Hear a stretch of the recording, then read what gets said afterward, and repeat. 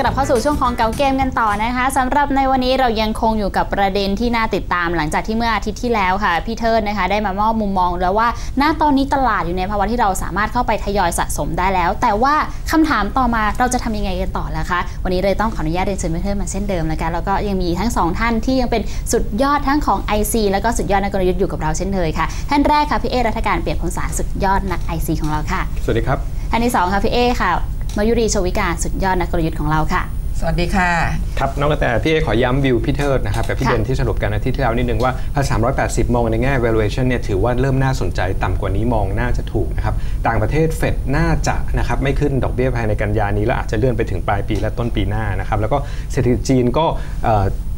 มีผลต่อเราน้อยเพราะว่าหุ้น Market Cap หลัก ๆ เราจริง ๆ ก็ไม่ได้อิงมากค่ะนักนะครับ เพราะฉะนั้นตอนนี้คนเลยถามว่าเอ๊ะ bottom ไปหรือยังเนี่ยเรา 3 คนเรียกว่า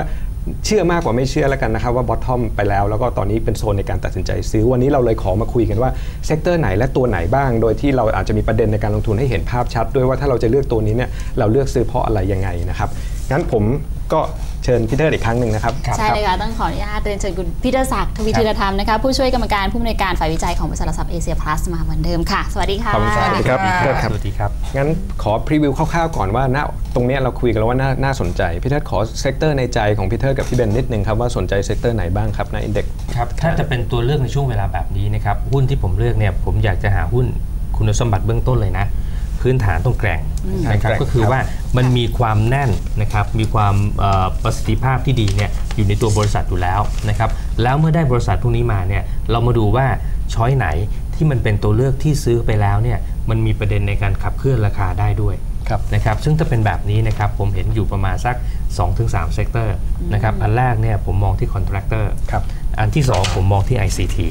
นะครับและอันที่3เนี่ยเป็นทางด้านเอ่อ residential นะครับค่ะหรือว่า ผู้พัฒนาที่อยู่อาศัยครับเพื่อขายโอเคนะครับครับงั้นวิวเบนครับสามเซกค่ะสามเซกเตอร์ไหนที่เบนชอบชก็อบบ้างจครับตอรินงนี้ๆที่มองน่าจะมองคล้ายๆ กับทางพีเทอร์ก็คือว่ามุมที่เป็นมองเนี่ยจะมองเกาะไปกับนโยบายของทีมเศรษฐกิจชุดนี้นะคะซึ่งก็เอ่อเป็นทีมที่ยังต้องเริ่มทำงานนะคะที่มากขึ้นกว่าชุดก่อนนะคะแล้วก็ ตัวที่จะขับเคลื่อนเศรษฐกิจจากนี้ไปเนี่ยก็คือตัวการใช้ของภาครัฐ การลงทุนของโครงสร้างพื้นฐานขนาดใหญ่ ก็คงจะเห็นการประมูลออกมา จากนี้ไปเนี่ยคงจะเห็นเป็นซีรีส์ที่น่าสนใจทีเดียวนะคะก็คงจะหนีไม่พ้นกลุ่มรับเหมาก่อสร้างนะคะพอเป็นกลุ่มรับเหมาก่อสร้างเสร็จ ก็จะต้องมีวัสดุก่อสร้างที่ต้องใช้นะคะมันก็จะเป็นกลุ่มที่เชื่อมโยงกันไป นะคะกลุ่ม ICT นะคะก็จะเป็นกลุ่มหนึ่งที่น่าจะกลับมามีสีสันกันในช่วงไตรมาสสุดท้ายของปีนี้นะคะเพราะว่าตารางเวลาในการที่จะประมูลคลื่นความถี่พันแนะคะแล้ว 900เนี่ยในเดือนพฤศจิกายนเนี่ยน่าจะเห็นกันชัดเจนแน่ๆนะคะเพราะฉะนั้นกลุ่มนี้ก็จะกลับมามีสีสันพร้อมกับกลุ่มนี้จริงๆ ต้องบอกว่าเป็นกลุ่มที่มีปันผลดีด้วยนะคะเพราะฉะนั้นเองเนี่ยค่อนข้างที่จะเอ่อเรียกได้ว่าค่อนข้าง safe นะคะ สุดท้ายก็จะเป็นกลุ่มแบงค์นะคะที่ที่เรามองว่าในส่วนของตัวกลุ่มแบงค์เองเนี่ยพอ ถ้าเศรษฐกิจกลับมาขยับเขยื้อนได้นะคะตัวที่จะเป็นตัว support นะคะเส้นใหญ่เลยของเศรษฐกิจก็คือกลุ่มแบงค์เนี่ยก็คงจะต้องเห็นการกลับมาอีกครั้ง ก็สรุปทั้งสองท่านเหมือนกันคือรับเหมานะครับแล้วอาจจะมี ICT มี Resident แล้วมีติดแบงก์บ้างนิดหน่อยแต่พลังงานเราคงยังไม่ค่อยแตะกันนะครับในช่วงนี้งั้นเดี๋ยวทั้งสองท่านอาจจะมีหุ้นแนะนำให้นักลงทุนนะครับในช่วง 4 เดือนสุดท้ายของปีนี้นะครับว่าโอ้โหพอร์ตเสียหายกันมาเยอะหลายคนก็เครียดกันพอสมควรลองมาดูว่ามีหุ้นที่น่าสนใจไหมที่แบบมีพื้นฐานรองรับมีประเด็นการลงทุนชัดเจนนะครับเดี๋ยวเราสลับกันแนะนำเชิญพี่เทิดก่อนครับว่ามีตัวไหนน่าสนใจครับก็ตัวแรกเนี่ยอย่างที่บอกไปแล้วว่าเราควรจะหาตัวที่มีทั้งพื้นฐานดีนะครับแล้วก็มีประเด็นในการขับเคลื่อนด้วย กลุ่มรับเหมาเนี่ยประเด็นขับเคลื่อนค่อนข้างชัดเจนว่า จากตรงนี้ไปนะครับเราเชื่อว่าน่าจะเห็นการเปิดประมูลโครงการต่างๆเนี่ยเพิ่มมากขึ้นนะครับที่ไหลออกมาแล้วเนี่ยก็คือตัวรถไฟรางคู่นะครับแล้วก็มีตัวมอเตอร์เวย์นะครับหลังจากตรงนี้ไปเนี่ยเราเชื่อว่าทั้งรถไฟรางคู่และมอเตอร์เวย์เนี่ยยังมี project ที่จะต้องมีการประมูลต่อเนื่อง เพราะว่าเท่าที่เรา track มาดูนะครับเอ่อตัวรถไฟรางคู่ที่ครม. approve แล้ว นะครับมีอย่างน้อยก็สามเส้นทางค่ะนะครับมอเตอร์เวย์อีก3เส้นทางนะครับแล้วยังมีพวก project อื่น ๆ ที่อยู่พวกเอ่อระดับ 5,000 6,000 ล้าน อยู่ในนี้อีกเยอะมากพอสมควร รวม ๆ แล้วปีนี้เนี่ยที่ผมคิดว่าพร้อมประมูลได้เนี่ยประมาณแสนสี่นะครับถือว่าเยอะพอสมควรนะครับทีนี้เอ่อเมื่อเลือก sector แล้วตัวไหนใน sector ที่ safe นะครับผมเลือก CK อ่านะครับที่เลือก CK เพราะว่า CK ครับอย่างน้อยๆเนี่ยฐานที่เป็นฐานธุรกิจเขาแล้วมีความนิ่งของรายได้ ที่เกี่ยวเนื่องกับตัวสัมปทานเนี่ย มันมีอยู่มากพอสมควรค่ะมีประปาไทยนะครับมี CKP ก็ขายไฟนะครับมีสัญญาแน่นอนนะฮะ BECL นะครับก็อยู่บนสัมปทานค่ะ BMCL ก็อยู่บนสัมปทานนะครับแล้วก็จะเห็นว่าฐานที่เป็นตัวรองรับในกรณีที่มันเกิดระยะแย่ขึ้นมาเนี่ยผมคิดว่ามี 4 บริษัทเนี่ยเป็นฐานรองรับนะครับแล้วทีนี้ถ้ามองดู CK เนี่ยเอ่อถ้ามีเรื่องของตัวโปรเจกต์ต่างๆประมูลขึ้นมา ผมเชื่อว่าเขาก็น่าจะมีส่วนนะครับเพราะว่า CK เนี่ย ต้องถือว่าเป็นคอนแทคเตอร์รายใหญ่นะครับที่บอกว่าใหญ่ก็เพราะว่ามีรายได้ต่อปีเนี่ยเกินหมื่นล้านถือว่าใหญ่แล้วนะฮะซึ่งถ้าเกินหมื่นล้านก็แปลว่ามันมีคุณสมบัติพร้อมในการที่จะเข้าประมูลโครงการอะไรต่างๆเนี่ยเยอะแยะมากมายเลยนะครับแล้วถ้าโผล่เข้ามาเนี่ยผมว่าถ้าเข้าทาร์เก็ตแค่ 25%วินเนี่ยผมว่าก็ก็ได้อะไรเยอะแยะแล้ว ตอนนี้แบ็กหลอกเนี่ยมีอยู่ประมาณ 87,000 ล้านอืมนะครับ 87,000 ล้านเนี่ยถ้าสมมุติไม่มีงานใหม่เลยนะ cover ได้ประมาณ 2 ปีนะครับเพราะปีหนึ่งเนี่ยเขามีการรับรู้รายได้อย่างปีนี้นะครับประมาณ 34,000 ล้านค่ะนะครับเพราะฉะนั้นมี 80,000 กว่าล้านเนี่ยก็แปลว่าอยู่ได้น้อยก็ 2 ปีนะครับผมว่าเสบียงมีมากพออนะครับแล้วตรงนี้เนี่ยผมมองว่าตัว margin ค่ะนะครับเทรนด์ต่างๆเนี่ยก็น่าจะดูดีขึ้นนะครับแล้วก็ประเด็นที่หนุนอีกอันหนึ่งก็คือตัวรถไฟฟ้าสายสีม่วง กับสีน้ำเงินนะครับถ้าเปิดขึ้นมาแล้วเขามี BMCL อยู่แล้วนะครับซึ่งบริหารการเดินรถสายใต้ดินเนี่ยก็มีโอกาสที่จะไปลุ้นเรื่องการประมูลเดินรถค่ะในขั้นตอนต่อไปเหมือนกันนะครับค่ะก็จะเห็นว่าฐานแน่นนะครับแล้วก็มีประเด็นที่บวกรอขับเคลื่อนราคาอยู่ข้างหน้าก็เลยมี CK เป็นตัวแรก เป็นตัวแรกพี่เทิดเลือก CK นะครับ ผมขอเสริมนิดนึงในมุมมองตลาดละกันผมดูตลาด CK เคลื่อนไหวน้อยมากครับพี่เทิดครับปีนี้อยู่ใช่ครับ27 26 ตลาดเออร์เลอร์ลงไปก็ 25 นิดๆ แล้วก็ครับตอนนี้ก็กลับขึ้นมา 26 27 เนี่ย มันแข็งนิดนึง ทีนี้มองในแง่ถ้าซื้อตรงนี้เนี่ยอัพไซด์มันเยอะไหมครับ ก็หรือว่าถ้าดู upside เนี่ยเราใช้วิธีเรียกว่า sum of the parts ครับในการทำ valuation นะครับ ก็รวมตั้งแต่ BECL BMCL ปปาไทย CKP เนี่ยเอ่อเราได้มูลค่ามาประมาณ 31.25 31.25นะครับ เพราะฉะนั้นราคานี้ก็ยังดูแล้ว upside ยังปรากฏให้เห็นพอสมควร ครับ งั้นครับขอเชิญเบนครับ ตัวแรกที่เบนเลือกค่ะ ของเบนก็จะเป็นสไตล์แบบว่าเอ่อมีความเสี่ยงเล็กๆ นะคะมีความเสี่ยงเล็กๆนิดนึงนะคะแต่ว่าเบนคิดว่ามันมีประเด็นเรื่องของการลงทุนที่น่าสนใจอยู่นะคะแต่ว่าอยู่ในกลุ่มเดียวกันเลยกับพี่เทิดนะคะก็คือ ITD นะคะค่ะอิตาอิตาเลียนไทยนะคะก็เอ่องานที่จะมีการเปิดประมูลเหมือนอย่างที่เมื่อกี้ทางพี่เทิดได้เรียนเนี่ยรถไฟหลังคู่นะคะแล้วก็อีกอันหนึงที่เบนอยากจะเสริมก็คือรถไฟความเร็วสูงไทยจีนค่ะนะคะท่านนายกก็ได้มีการเรียนไปแล้วว่าตุลาต้องต่อหมุดแล้วนะก็คือต้องก่อสร้างแล้วนะคะ ซึ่งซึ่งเอ่อในส่วนตัว ITD ก็มีความพร้อมค่ะ นะคะแล้วก็จะมีในส่วนของเออตัวรถไฟฟ้านะคะที่น่าจะมีการเปิดประมูลกันในช่วงต้นปีหน้านะคะแล้วก็จะมีเรื่องของสนามบินสุวรรณภูมิเฟส2นะคะไตรมาสที่ 4 ปีนี้น่าจะเห็นการประมูล ซึ่งเอ่อ ITD เองก็เป็นคนแรกที่ทำในค่ะเฟสแรก เพราะฉะนั้นเองเนี่ยเฟสสองเมย์คิดว่าเขาก็จะมีศักยภาพในการที่จะได้งานค่อนข้างเยอะนะคะนั่นก็คืองานงานรับเหมาเนี่ยเป็นคิดว่าทุกคนไม่เดานะคะว่ารับเหมารายใหญ่หรือ ทุกเจ้าเนี่ยคงน่าค่ะจะได้งานกันอยู่แล้วนะคะเพียงแต่ว่าจะมีความเอ่อชำนาญในงานด้านไหนมากกว่านะคะค่ะแต่ว่าจุดที่มันจะเป็นตัวเพิ่ม แล้วก็น่าจะเป็นตัวที่จะทำให้ในส่วนของตัว ITD เองเนี่ยมันมีความโดดเด่นกว่าคนอื่น นะคะก็คงจะเป็นในส่วนของโครงการถวายนะคะซึ่งก็เป็นโครงการที่ถ้าได้มีการติดตามนะคะตัวนโยบายของภาครัฐ หรือว่าทางท่านนายกเองเนี่ยก็พูดย้ำเสมอว่าโครงการถวายเนี่ยมันจะเป็นตัวประตูที่ออกทางด้านตะวันตกนะคะค่ะแล้วก็จะเป็นตัวที่สร้างเศรษฐกิจที่กลับมาในฝั่งของประเทศไทยในชายแดนด้านตะวันตกเหมือนกันนะคะเป็นโครงการที่ต้องบอกว่ารัฐกับรัฐเนี่ยจับมือกันเลยนะคะเป็น G2G จับมือกันเลยเพราะฉะนั้นเซ็นสัญญากันไปแล้วนะคะเซ็นในเฟสแรกกันไปแล้ว โครงการนี้ก็จะมีการพัฒนากันต่อไปนะคะซึ่ง อันเนี้ยจะเป็นอัพไซด์ที่ใหญ่นะคะในระยะกลางถึงยาว ระยะสั้นอาจจะยังไม่เห็นอะไรนะคะแต่ว่าค่ะถ้ามันมีการพัฒนาพื้นที่แล้วมีคนเข้ามาลงทุนแล้วเนี่ยนับหนึ่งได้เลยนะคะอ่าประเด็นถัดไปที่เป็นคิดว่านักลงทุนเองอาจจะมี question mark จะเกิดขึ้นได้จริงเหรอนอกันมานานแล้วเป็นหลายสิบปีแล้วนะคะคือเหมืองโปรแทสนะคะที่อุดรเองเนี่ยค่ะอ่าเบนคิดว่าถ้าเราเห็นจาก TRC ที่ได้ใบอนุญาตไปแล้วนะคะตัวประธานบัตรไปแล้วเนี่ย เราก็ดูจากนโยบายแล้วนะคะเบนก็เชื่อว่าทางเมืองโปรแทสที่ ITD เนี่ยอาจจะใช้เวลานานนิดนึง แต่ว่าเบนยังคิดว่าเขาน่าจะมีการชี้แจงกับทางชาวบ้านได้นะคะถึงข้อดีข้อเสียนะคะแล้วก็ weight กันมาแล้วเนี่ยก็ดูน่าจะมีความน่าสนใจอยู่เหมือนกันนะคะนั่นก็คือเออประเด็นหลักๆของ ITD นะคะแล้วก็งานใน backlog ในมือเนี่ยต้องบอกว่าทำสูงสุดเป็นประวัติการณ์ 270,000 ล้านณวันนี้ที่ยังไม่ได้รวมงานใหม่ที่จะมีการค่ะประมูลเพิ่มเติมนะคะก็ เอ่อเป็นให้ราคาเหมาะสมก็คือเป็น sum of parts เหมือนกันนะคะ ก็งานธุรกิจรับเหมาเนี่ย8บาท50นะคะโครงการถวายบาท 50 ถ้าคนที่ไม่เชื่อเหมือนโปรแตสอีก 2 บาทนี่คุณตัดออกไปก็ได้นะคะก็เอาแค่รับเหมากับถวายที่เซ็นกันไปแล้วเนี่ยก็คือ 10 บาทละนะคะอืมตัวที่สองครับพี่เทิดครับครับ ก็คงเป็นกลุ่ม ICT ครับนะครับถ้า ICT เนี่ย ผมอยากจะ diversify ให้ท่านไปเลยนะครับก็คือไปซื้อ holding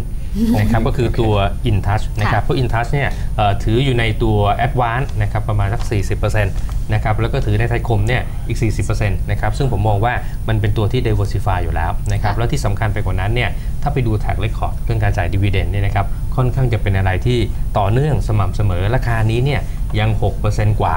นะครับก็ถือว่า yield เนี่ยค่อนข้างสูงนะครับเพราะฉะนั้นตรงนี้ เหมือนเดิม ผมว่าฐานรองรับเนี่ยมันแน่นนะครับทีนี้เมื่อฐานรองรับแน่นแล้วเนี่ยมีโอกาสอะไรข้างหน้าที่จะเข้าไปจับนะครับผมคิดว่ามันยังเยอะแยะอยู่นะนะครับอย่างตัวแอดวานซ์นะครับก็คงมี project อยู่แล้วแหละว่าเป็นหนึ่งเดียวที่ยังไม่มี 4G ค่ะนะครับเพราะฉะนั้นเนี่ยการเปิดประมูลรอบนี้ยังไงก็ต้องเข้านะครับซึ่งตัวนี้มองว่าเป็นโอกาสในการที่จะสร้าง springboard สำหรับที่จะไปทำตัว network ระบบ 4G แล้วก็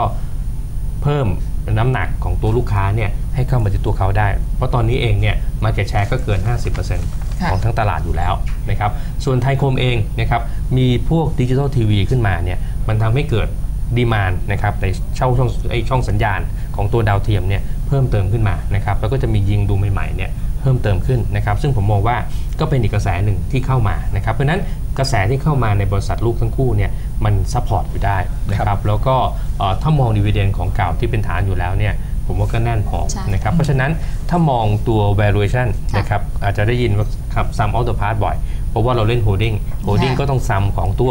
บริษัทลูกต่างๆเนี่ยครับเข้ามานะครับเราจะได้มูลค่าเนี่ยประมาณ 113ครับ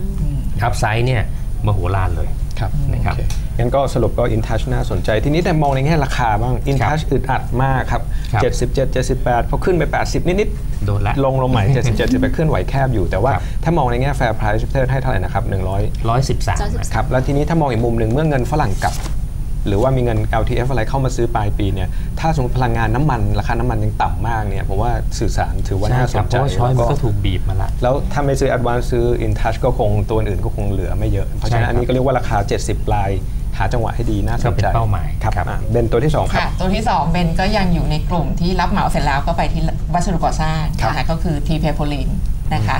ก็เบนยังมองว่าจุดที่เป็นผลประกอบการที่